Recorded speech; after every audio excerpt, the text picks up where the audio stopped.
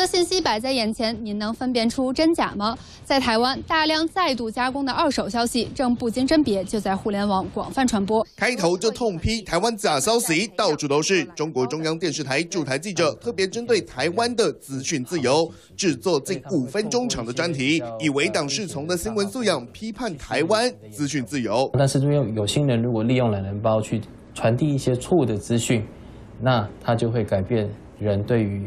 一个事情的看法。受访的台湾民众认为，有太多侧翼团体培养懒人包团队，并透过诙谐插画风格传达错误资讯，年轻人受害尤其为重。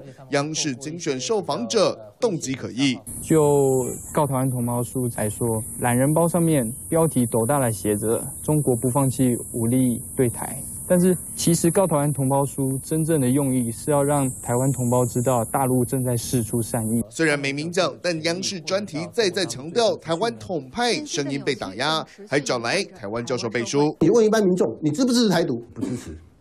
那你支不支持一国？哎，不好意思讲，这就表示他有个立场，他不能讲。只不过央视代表中国官方立场，CCTV 四又是专对海外华人放送的频道。谁蒙了台湾之眼？系列报道疑似在刻意塑造台湾人心向中国的印象，这不是假新闻，什么才是假新闻？三立新闻中考报道。